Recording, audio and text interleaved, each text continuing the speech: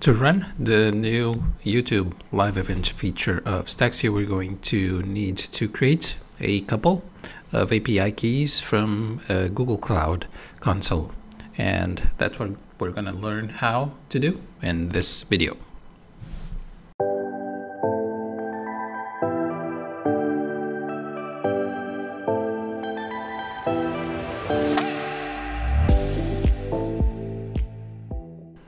So first step is going to be to access our console.cloud.google.com. And from here, we're going to click on the drop down and click on new project. And we're going to give our project a name, which could be Staxio. Staxio project. Sounds good to me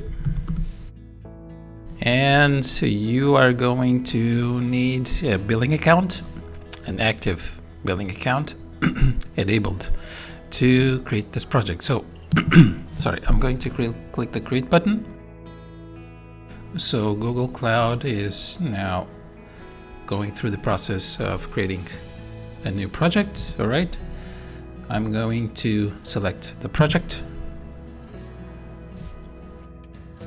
my project is selected. And now I'm going to the navigation click on the navigation menu I'm going to click on APIs and services which is going to show me my list of enabled APIs and services. And already there are already a number of APIs and services as we can see from this list but not the one we need. The one we need is YouTube Data API, which I'm going to search for, all right, which has already been suggested. And I'm going to click on the YouTube Data API for Google. Yes, this is the one. So I'm going to enable this API. Very good we have our API enabled. And our next step is going to be to we're going to click on yes. So we're going to create credentials. And we're going to select OAuth client ID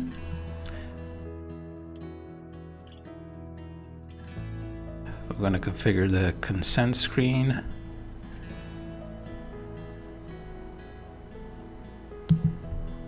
we're going to click on external and we're going to click on create.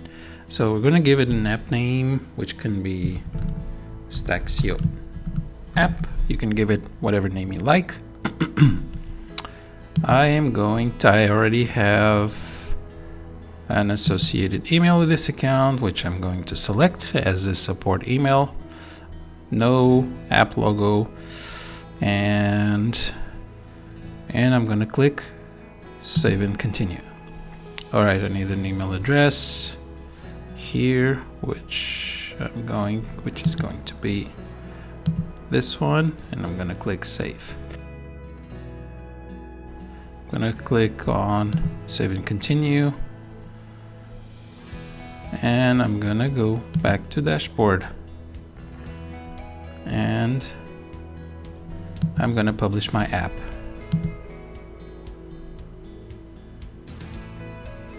All right, very good. Now I'm going to go to credentials.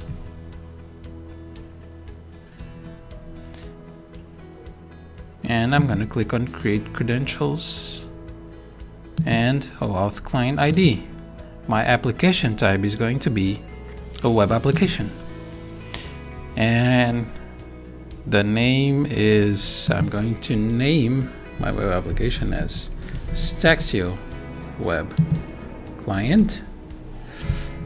I'm going to add authorized JavaScript origins and I'm gonna click, I'm gonna type in, I'm gonna copy paste, but you're gonna type in https script.google.com and for the authorized redirect URI, this is coming from Staxio.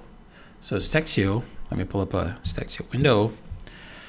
If we go on to the settings page, we can copy this link from the callback URL. This is the link we're going to need to add to our settings. We're going to click on the copy to clipboard, copy URL to clipboard button. And I'm going to head over to uh, Google Cloud Console. And I'm going to paste this URL on the authorized redirect URIs and I'm going to click on create. And now I have both the client ID and the client secret that I'm going to copy to my Staxio settings. So the client ID, I'm just going to copy the client ID. I'm going to head on over to the settings, come onto the YouTube and paste it here. And for this is going to be empty in your case, right? And for the YouTube client secret, going to copy the client secret key and I'm going to paste it here and click on the save settings button.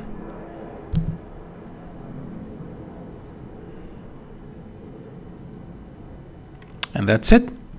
We have configured our YouTube API client ID and client secret uh, keys into the status the Staxio settings and we now should be able to use the uh, live events builder feature inside the planner of Staxio.